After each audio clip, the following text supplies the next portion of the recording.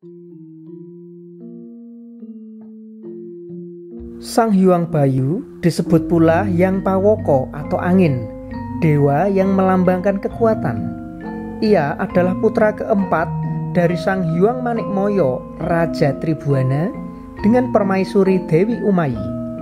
Sang Hyang Bayu mempunyai lima orang saudara kandung, masing-masing bernama Sang Hyang Sambo, Sang Hyang Brahmo, Sang Hyang Indro, Sang Hyang Wisnu, dan Betoro Kolo.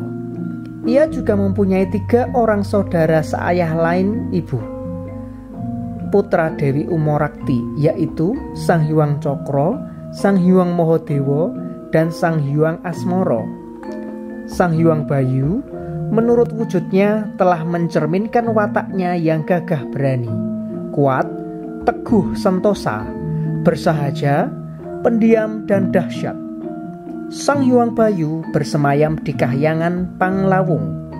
Ia menikah dengan Dewi Sumi, putri Betoro Somo, dan berputra empat orang yang bernama Betoro Sumarmo, Betoro Sangkoro, Betoro Sudarmo, dan Betoro Bismokoro.